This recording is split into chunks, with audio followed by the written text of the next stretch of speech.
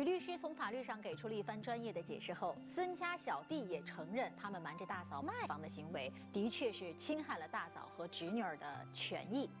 那么房子现在既然已经卖掉了，孙家兄弟姐妹对于卖房款的分配又有什么样的打算呢？今天呢，既然来到这儿，就是希望你们双方解开误会，对吧？老父亲可能生病花了这么多钱，大嫂这边并不知道，所以说，如果你把这些事情说出来，有可能大嫂理解了，反而知道你们的确有很多的难处，这个是是第一个疙瘩，我们先把它解开，再去说说这个房子，现在下一步应该怎么弄？嗯。我就是说，简单说这方案吧，给我爸看病是主要的，给我父亲。嗯。还有一个事儿吧，这个实际上没有明确的字据吧。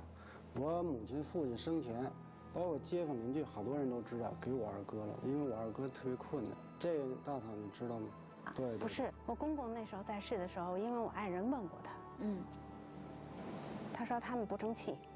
嗯，他们认为这个当时父母有，就是我爱人那时候跟我说过这句话。你说那个母亲在世的时候说这个有这个心愿，有这个遗愿，说这个房屋给谁谁谁，因为你说的这个有可能是一个口头遗嘱，说我百年之后，这个这个房屋归谁继承，但是但是你知道它难点在哪儿吗？一定是母亲快去世的时候，或者说说完这句话就已经头脑不清醒了，也就是说他没有能力。在做其他遗嘱的情况下，才存在这个口头遗嘱。我说过好多次，就像一个战士在战场上中了弹，这就快牺牲了，有两个战士在身边，你说我的财产将来给谁？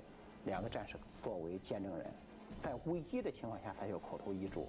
你的母亲很显然不不存在这种情况，因此不存在口头遗嘱的这成立的可能性，成立都不可能成立，那么更别说它生效了。嗯，成立的遗嘱也必须是在去世以后生效，因此你很难举证。啊，你必须举证证明母亲快去世的时候说的这个话，而且有有护士或者有大夫在旁边，而不是你们兄弟姊妹在旁边。嗯，而且这两个见证人还必须是无利害关系见证人，这是其一。你知道举证是多么难？嗯，我就是刚才也说了，我大嫂也清楚这件事儿。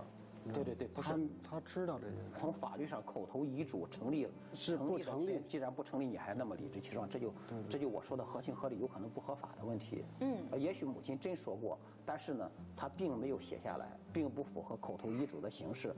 在这种情况下，你即便到法院打官司，法院也不会支持的。嗯，希望你能理解，这是这个呀。嗯，因为我二哥比较困难，嗯，也没有工作，完了也有病，嗯，也一直没跟大家说。就是我嫂跟我侄女可能都不知道，单独现在租个小平房很困难，希望能给他买一处房。嗯，我们这个就是说中，我们家里边我仨姐包括我，都需要帮助困难。现在我就希望他也能伸出援助之手，帮助我二哥一次。他没有住房。嗯，那是我们之间的事情，那是我跟老五之间的事情，并不是说。我不希望这句话是从你的嘴里跟我说，那是由老五需要我帮助的时候，他可以跟我说。